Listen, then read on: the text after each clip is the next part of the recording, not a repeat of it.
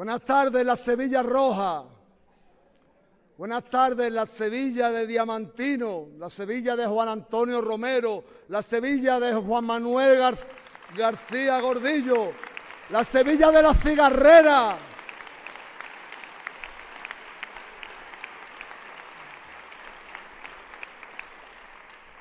La Sevilla de ese panaero, de Pepe Díaz, que llegó a ser secretario general del Partido Comunista de España y, que con Dolores y Pasionaria lanzaron el Frente Popular, llegando a acuerdos con los distintos, llegando a acuerdos con aquellos que pensaban de forma diferente, sabiendo quién era el enemigo.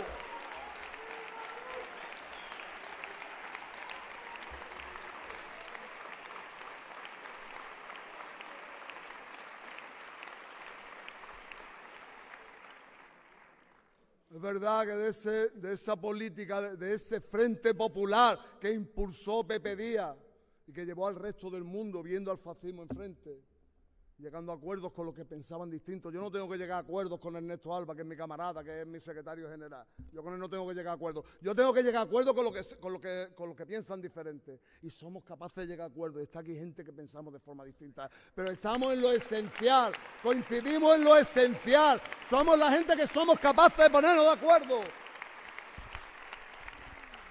De aquel Frente Popular se desgajó el POU y cuando nosotros, cuando el Frente Popular estaba peleando con el fascismo, por la retaguardia te estaban pegando tiros porque no era suficientemente izquierda. Nosotros no nos equivocamos nunca del enemigo. El enemigo era el, el fascismo. Nosotros no le pegamos nunca tiro a los que están peleando contra el fascismo. Camaradas, nosotros no votamos nunca con Vox y con el PP echar abajo decretos que suponen seis meses de retraso en la, rebaja de, la, de las peonadas.